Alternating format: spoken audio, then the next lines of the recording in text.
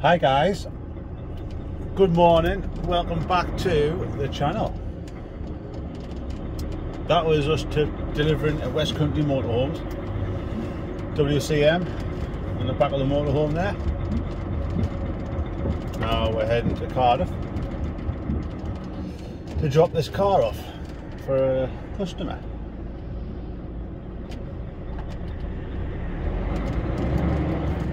That's where we parked in that little like outside the garden centre but they hire the place. West Country Motorhomes hire that yard. Just for the sole purpose for us to offload. So it's okay for us to stop there. Anybody else gets chased. But yeah spot on there. It's quiet you nose dive into that wall. You park there you get no hassle. The house the, the family's there it's all cameraed up, it's quiet as mouse. Pitch black. What we like. So now we're just heading back to the M5, northbound on the M5, across the M4, over the Prince of Wales Bridge, into Cardiff, what's that? We're 83 mile away thought it was closer than that to be fair, but we should still make it back up today to get tipped. Because we're heading to Portbury Docks after that, get three chassis cabs on to go back to the factory to get made into motorhomes and we should hopefully get back up. So a little update, a little update for you.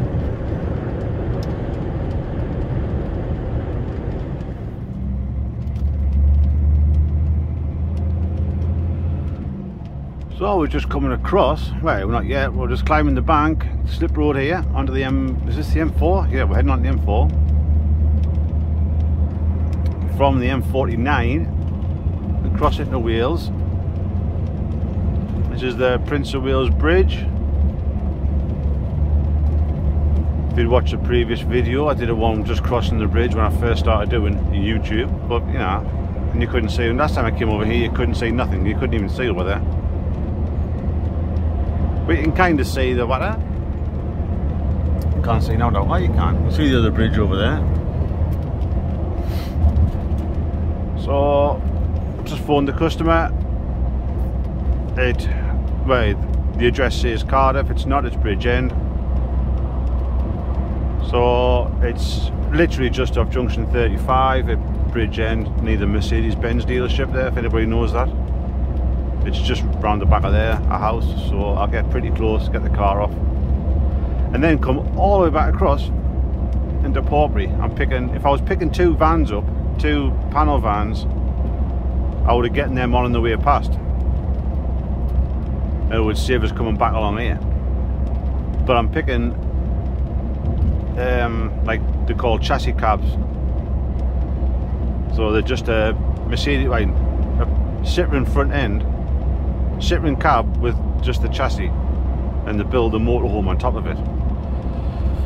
I'm getting three of them and I can't and I can't get three of them on in a car. Literally only by about three inches. Because if, if I had a smaller because I've got a, an ID4 an ID4 on. VW them are my new electric things but they just say a little bit bigger. If I had like a Cupra I would get I'd be able to get the three vans and the car on and it would save us coming back but the ID4s are a little bit bigger and I can't get the car where I need to get the car on the trailer to make it fit. So that's a shame. So we'll have to go back across the bridge. It's just a shame because it adds about half an hour to be day. And I originally thought this was like this drop is closer than what it is. I'm still 38 mile away. Ah, it's not as far as I was thinking, like, so stood stu should still makes me get me foot out of my mouth should still be able to get back across, get loaded, and then back up to Consett tonight. There'll be a full 10 hour drive like, but we should make it. Hopefully, with about half an hour to spare. But as long as I get to the factory, get the vans off, get reloaded, if I'm loading there, hopefully I am, that'll be spot on.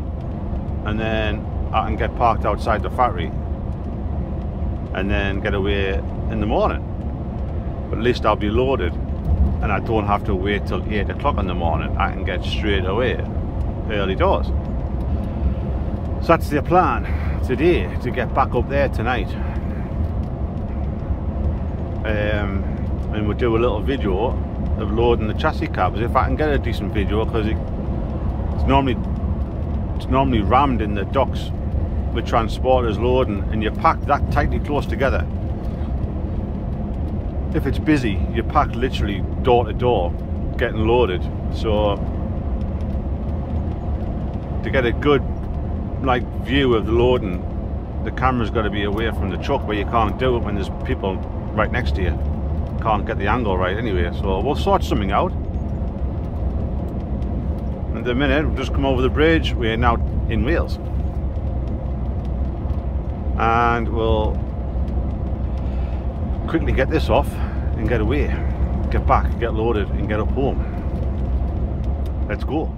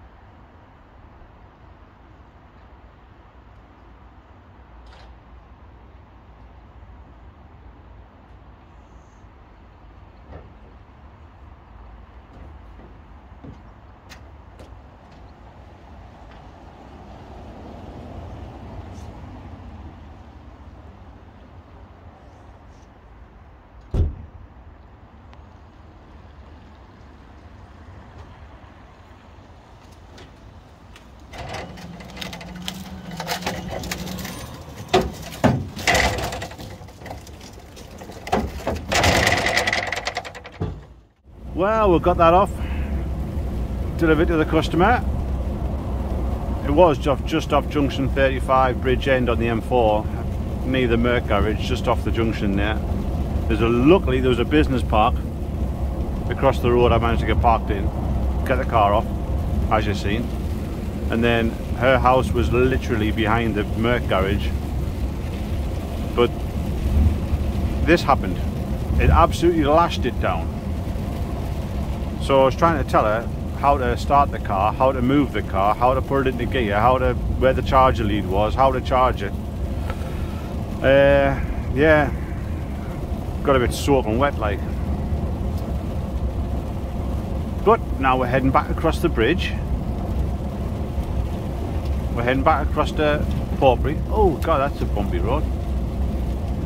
And get these three chassis cabs on to head back to Consett. And I'm hoping I make it tonight. I'm on two hours, 10 minute drive. It's about six and a half hours from Portbury back to Consett. Plus the extra halfway, what am I going to do? Another 20 minutes? Another 20 minutes before I get to Portbury. So, yeah, it's going to be a full nine hour drive. If not, it'll be going into a 10. Which isn't too bad, because if I go into a 10, I'll just head down to Newton Aycliffe. Park there at night. But, we don't know. See what happens later with traffic, etc., etc. You never know. It's a long way to go. and try and determine where you're going to park tonight. I haven't even got loaded yet. So, we will cruise along this Prince of Wales Bridge. There it is there. It's getting brighter. The rain's dying off a little bit. Down there where I'm loading, it looks bright and dry. So hopefully it's not raining when I'm down there. And we'll get loaded. Got me coffee. Got me coffee.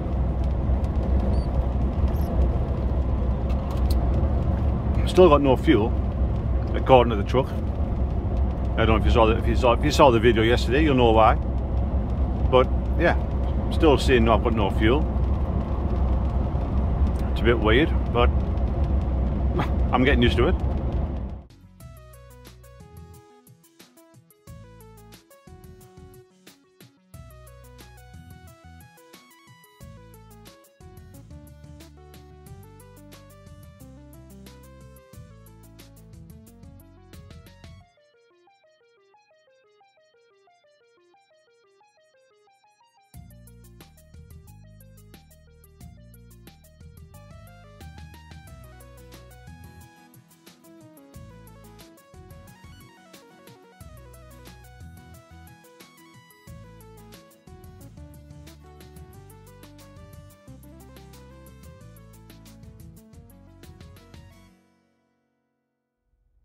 We are now in the docks. This is Portbury. This is where where that's the electric cars getting charged up there.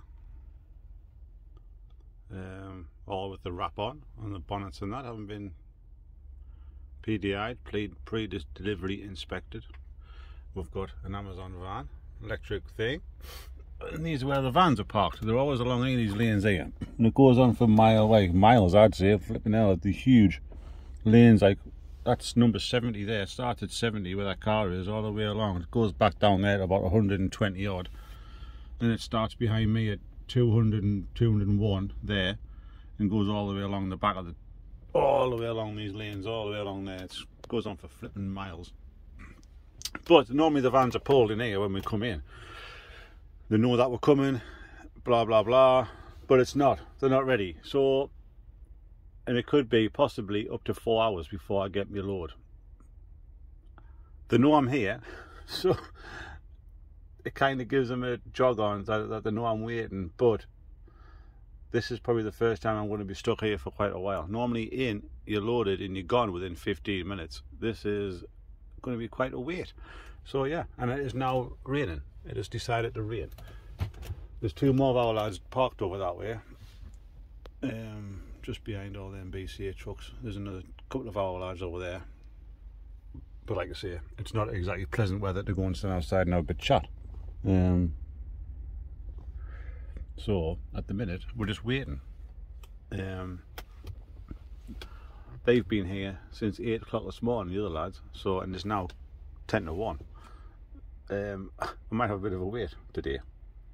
This is going to put a bit of the bit of a knacker on trying to get back up to Consett this afternoon. That's not going to happen, I don't think anymore. Um, but yeah, we'll give you an update later. Um, but that's what that's, that's what's happened. I've pulled in here and the whole day has come to a stop for now. So we'll do some paperwork, I think, and watch the world go by. And aye, that's it. So we'll keep you updated, and hopefully it's not too dark when I start loading these vans.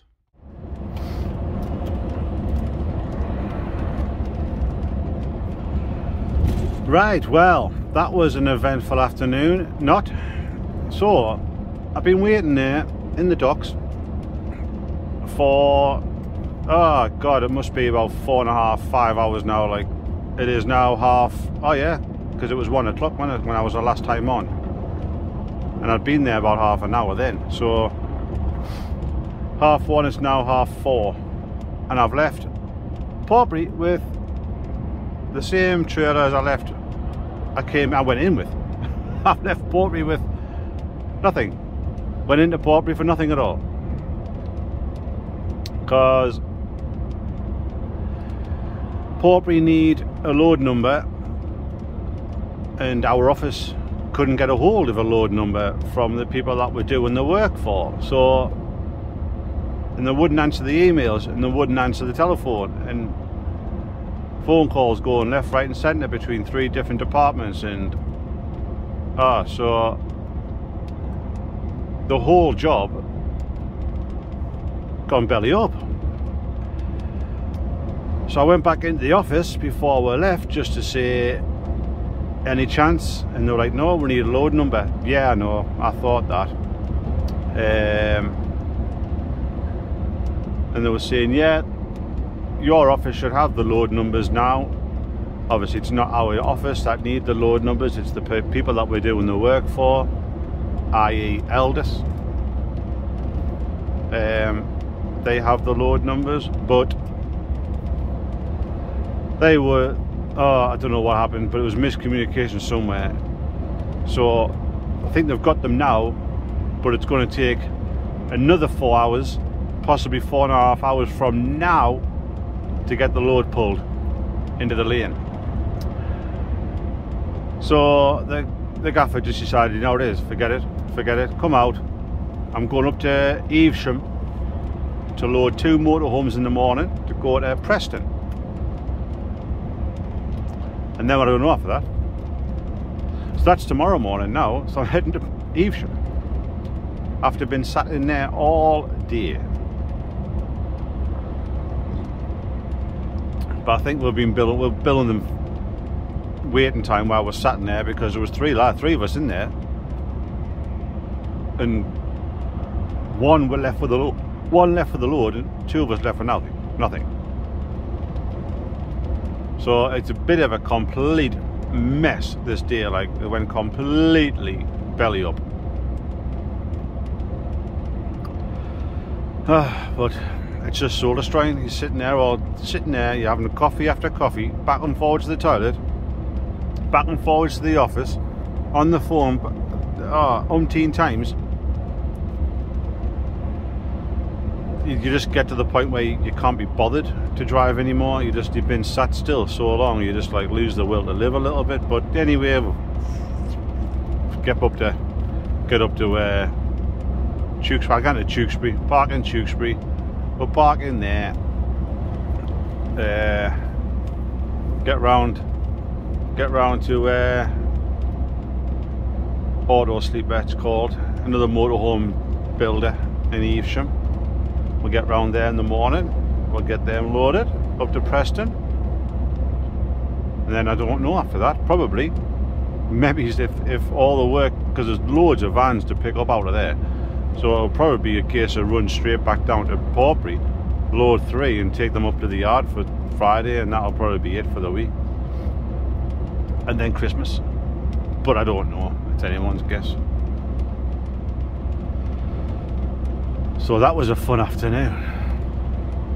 Oh.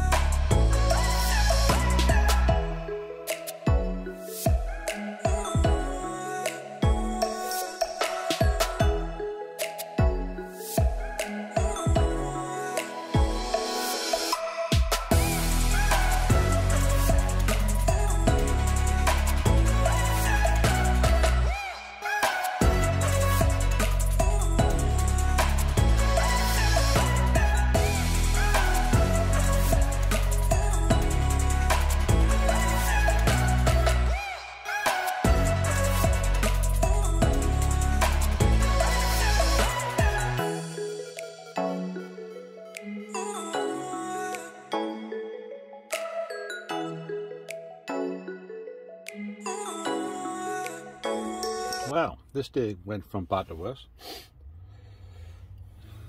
I'm on the A46 heading towards Evesham. Well, I'm only about four or five miles away from where I need to be to park up for the day. And I've there's been an accident and so unfortunately we've come to a grinding halt and I can't go anywhere. The cars are going down this side road here but it's literally a track, a lane, there's no way the trucks can get down there. So it looks like we're stopping here for the sort of foreseeable future, future. But, so I think this day has become a bust. So, I might as well wrap this video up because it's nothing else has happened today by the looks of it. Looks like I'm just sat here and I'll get parked up soon enough. Like I say, it's an accident, can't be helped. As long as everybody's alright, we'll get to where we need to be eventually. Oh, guy's got his car. Um, yeah, so we'll wrap it up. We'll try and do another one tomorrow see if we actually make some progress. I think I've only drove four and a half hours a day. But these things happen. Right. Well, as normal, as normal, thanks for watching, guys. I know nothing much happened in this one today, like, but I thought it was going to be more of a packed day, but anyway, thanks for watching. Please like and subscribe to the channel. And it makes, like I say, it makes it worthwhile doing. Otherwise, I'm just rambling on to myself. so, anyway, thanks a lot, guys. See you next one. Cheers.